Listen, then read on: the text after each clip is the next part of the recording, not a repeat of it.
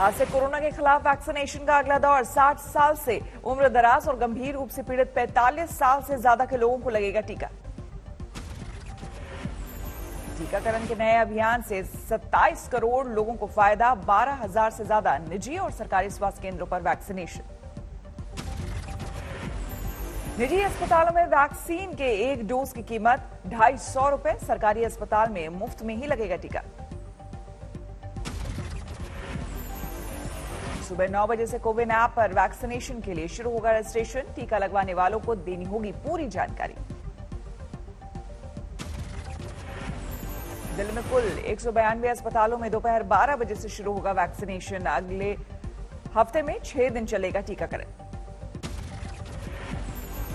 महाराष्ट्र में फिर 24 घंटे में 8000 से ज़्यादा केस फ़िलहाल। राज्य में सत्तर हज़ार से ज़्यादा एक्टिव केस। लगातार बढ़ते मामलों को लेकर महाराष्ट्र सरकार गंभीर राज्य में कोविड गाइडलाइंस को एक महीने के लिए बढ़ाया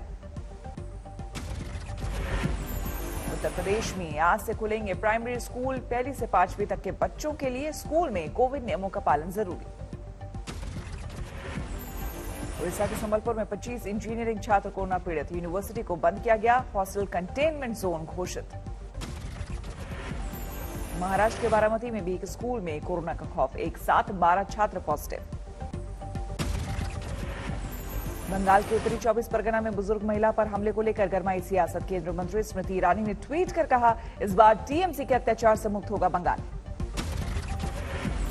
आरोपों पर टीएमसी का पलटवार, ममता के मंत्री पार्थ चैटर्जी ने कहा, घरेलू हिंसा के शिकार बुज़ुर्ग को बीजेपी ने अपने स्वार्थ के लिए किया इस्तेमाल। कोलकाता में बीजेपी ने बुज़ुर्ग महिला की पिटाई को लेकर लगाया पोस्टर पूछा, क्या वो बंगाल की बेटी नहीं?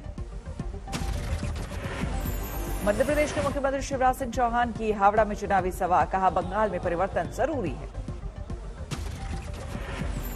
अन्याय और अत्याचार की हत्या कर दी है टीएमसी ने जनता के सारे हक खा रहे तोलाबाजी, टैक्स कट मनी ये शब्द मैंने ही आके सुने। तमिलनाडु पहुँचे गृह मंत्री अमित शाह का राहुल गांधी और कांग्रेस पर बड़ा हमला। बोले, जलकट्टू मुद्दे पर कांग्रेस के पाखंड को नहीं भूलना चाहिए। पुडुचेरी के कराईकल की चुनावी सभा में शाह का राहुल परिवार कहा, क्या लोग ऐसा नेता चाहते हैं जिसे नहीं पता कि 2019 में बना था मत्स्य विभाग? तमिलनाडु में चुनावी घमासान के बीच मुख्यमंत्री पलनीसामी और डिप्टी सीएम ओ पलनीसेवम के मिले, से मिले अमित शाह। तिरुनेलवेली में राहुल गांधी की रैली, कहा प्रधानमंत्री मोदी रिमोट से चाहते हैं राज्य का कंट्रोल, जनता छीनेगी उसका रिमोट। तिरुनेलवेली में सड़क किनारे राहुल गांधी ने लिया चाय का लुत्फ, स्टॉल के मालिक की तारीफ़।